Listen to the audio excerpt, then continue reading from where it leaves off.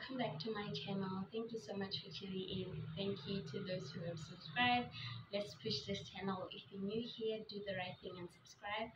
Um let's get this channel to 1000 subscribers okay?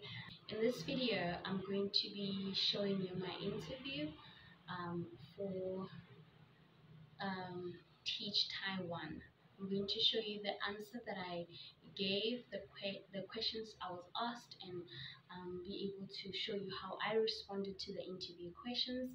Um, and please don't copy my answers. Uh, just this is just to give you an idea of how to answer questions. Um, and it's not that I'm perfect in answering questions, but they got me the job. So yeah. so thank you. Uh, let's get straight into that video asking questions from the questionnaire and you'll be answering me to the best of your abilities. And this part will be sent to the schools, and the schools will be the ones to decide whether to hire you or not. Okay. So they'll be looking at this part of the interview and your resume and make a decision off that. Okay. So, are you okay with me recording for this part? Yes, I'm okay. Okay, and do you need a minute to get ready before we get started? No, I'm good, thank you. Okay, let's get started. How would you describe a personality in three words? Um, I would say that I'm an assertive person and I'm very talkative. Uh, and the last thing is that I'm very adaptable. Please tell us three characteristics you think a good language teacher should have. I think a good language teacher needs to be patient with the students because sometimes uh, we, you have learners that have never heard of English before, so patience is very important.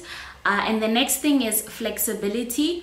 Um, when you plan your lesson, you can plan it according to the way you see fit, but you can always see changes in the classroom. So you need to be flexible uh, to make changes if anything comes up. And lastly, you need to uh, be fun and entertaining uh, so that the lesson is engaging and fun for the kids.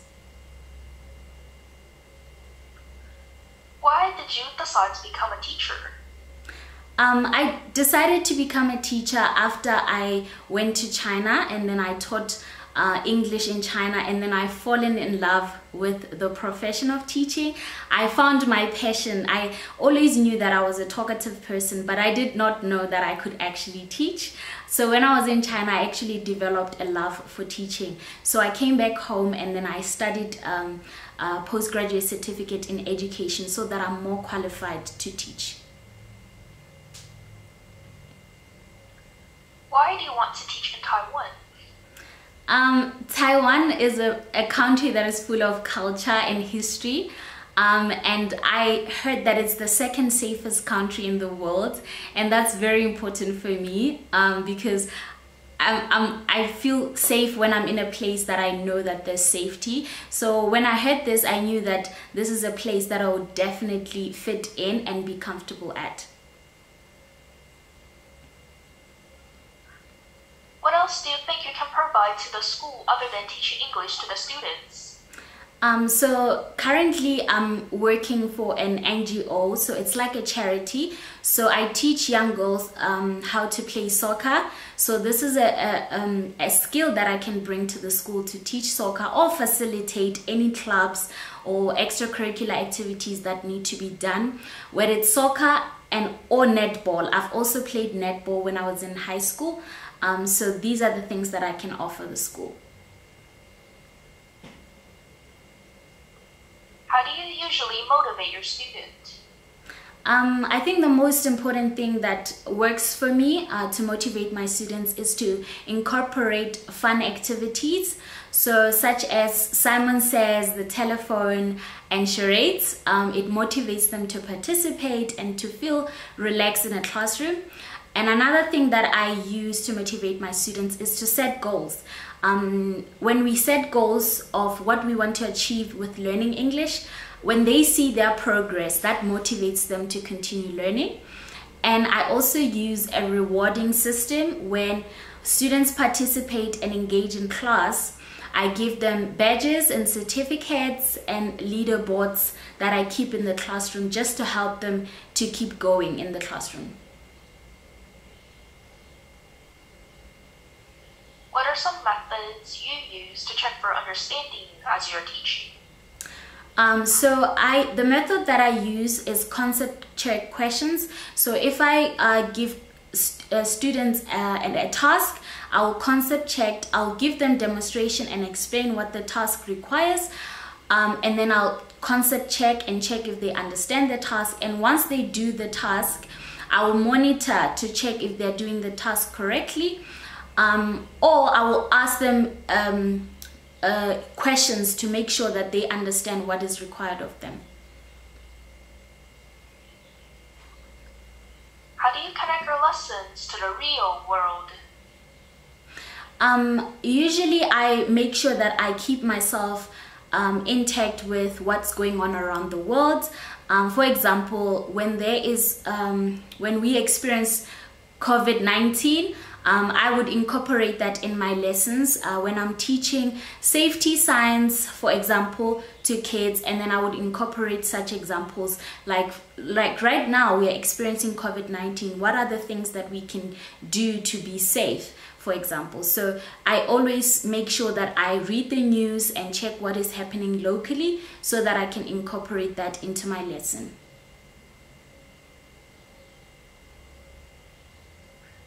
How would you teach with mixed level of students? What will you do for students who are in lower level and not in higher level? Um, I think teaching a class with different levels starts with planning. So when I plan, I first consider the different learning styles that uh, students have. Some students have visual uh, type of learning, some have kinesthetic learning, and some have auditory learning. So when I plan my lessons, I make sure that I incorporate learning materials that would cater for those learners because they are all different. And then when it comes to doing activities in classroom, I mix um, high level students with low level students in the same group so that the high level students can help the low level students so that we can bridge that gap um, that it's not uh, some some students are good and some students are bad. So when you have high level students and low level students together they can help one another and do peer check also in the classroom. If you have 30 students in your class how do you give all the students a chance to listen and speak in english? Um, so what i do is use drills where i model the content that i'm teaching and allow the students to drill uh, after that content. And then in terms of activities i make sure that we do activities such as role play um, where every student will have a chance to speak and listen to the other students. What will you do if the students are disruptive in your class? Um, so I think this goes back to setting rules in the classroom um, I make sure that before I do anything with the classroom, we start, we set up rules. Um, so usually what I do, I use, um, I grab their attention by using quiet lines. So I would have a quiet line and raise it up so that they know that um, we need to be quiet um, and focus on the work that we're doing. What will you do for students with disabilities in our class? Um, I think um, inclusivity is very important to me as a teacher. I believe that every student that is in the class needs to feel included. Um, so firstly, I make sure that all the students, they respect one another and make sure that they don't treat the students with disability any different. Um, but at the same time with me, if that student maybe is struggling, I will ensure that I give them one-on-one -on -one attention, to make sure that they are on the same level as the rest of the class. What do you think is the most interesting activity you have done with your students? Um, the most interesting activity that I've done with my students is the one of building towers. Um, so I task students by building towers where they have to work together to create a tallest tower and they use stakes to make sure that um, this tower stands and it's sturdy.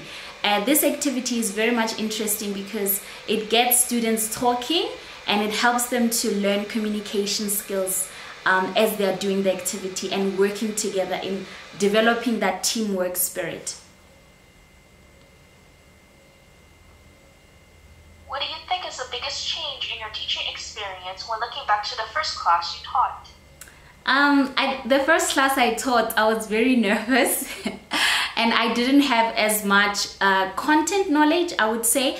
Um, and since then, I've improved and uh, studied to make sure that I have really good content knowledge. That when I teach English, I know everything that I need to be teaching. Um, so I think I was nervous and less confident because I, I, I wasn't so good at the content. But now I've come such a long way, and I think I'm really good at it now. Last question. If you had to pick one area in your teaching method that you could still improve, what would that be? Um, I think what I always do, I use the same old activities that are still fun uh, and engaging to the students. But I think one thing that I would love to improve is to just be more innovative when it comes to games. Um, so find out more games that are engaging and fun for the students that are not the norm that is not the usual games so i'm working on that to try and find games that are uh, unique and still fun for the kids or relatable to them in terms of their culture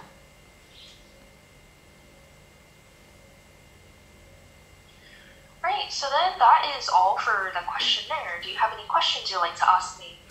Um, yes,